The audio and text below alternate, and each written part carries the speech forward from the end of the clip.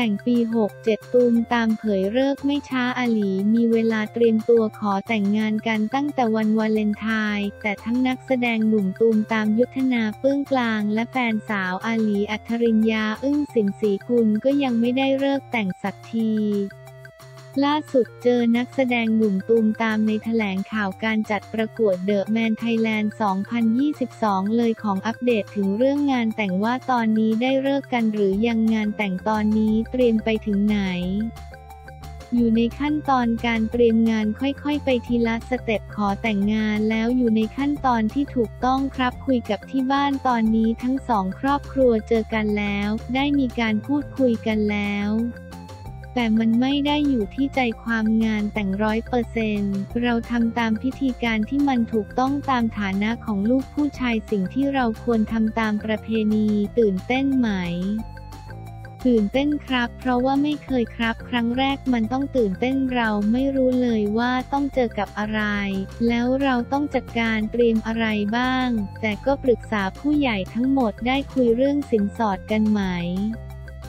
มีการถามกันแล้วทางโน้นเขาก็บอกว่ามันไม่ได้เป็นสิ่งสำคัญที่สุด ผมว่าเรื่องนี้เอาไว้หลังบ้านเลยครับ หัวเราะ ตอนนี้ก็ดูเลิกและจัดเตรียมงานส่วนเลิกที่ได้มาเป็นช่วงปี 67 ครับอีก 2 ปีเลย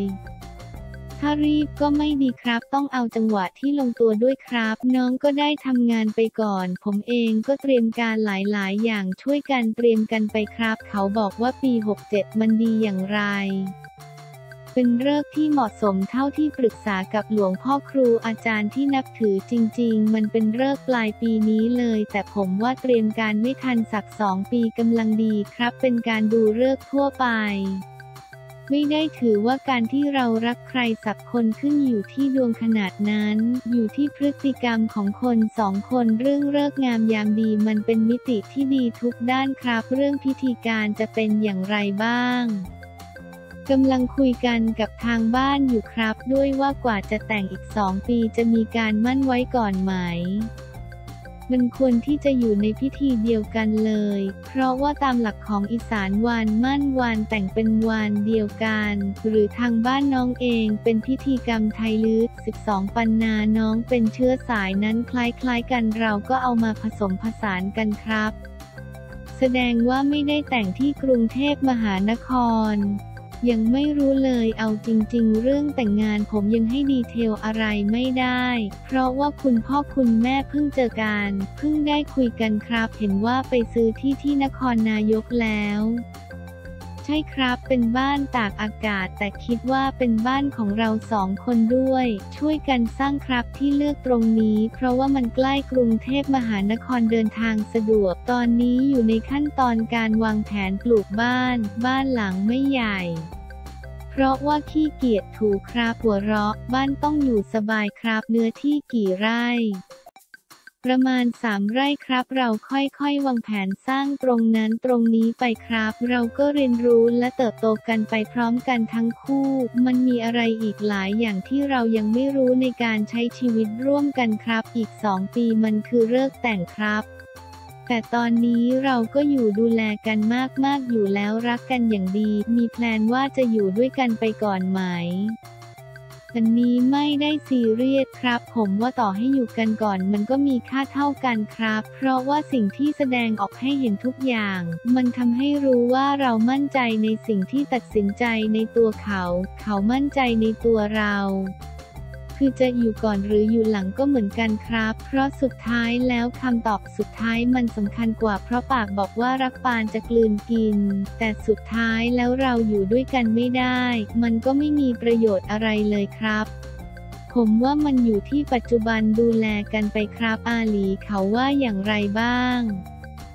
ยังแพลนอะไรไม่ได้จริงๆ ต้องรอจังหวะที่สะดวกของเราทั้งคู่ เพราะว่าเราก็ทำงานด้วยกันทั้งคู่ เรื่องแต่งงานเราซีเรียสเรื่องของครอบครัวและประเพณีทุกอย่าง แต่ส่วนตัวเราสองคนโคตรสบายเลย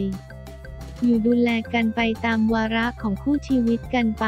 ไม่มีอะไรที่เป็นสิ่งไม่จำเป็นในการใช้ชีวิต บอกตามตรงว่าเราไม่ได้เป็นคนร่ำรวย เราทำได้เท่าที่เราทำได้ อยากจัดงานแต่งเล็กๆ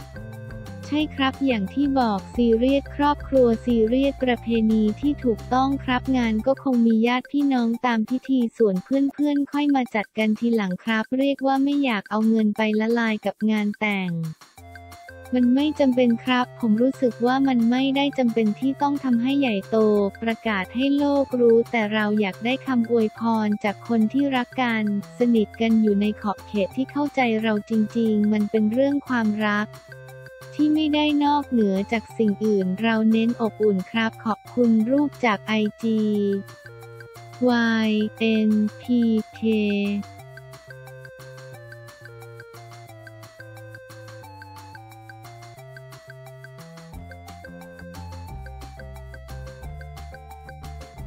อมเมนต์สนั่นสีริต้าอยากให้ลูกติดดินเหมือนแม่คนถามดินเกรดไหนกลายเป็นประเด็นร้อนที่ชาวเน็ตต่างพูดถึงกันสนั่นโซเชียล หลังจากที่ก่อนหน้านี้สีริต้าเจนเซ่นนรงเดชและสามีกรนรงเดช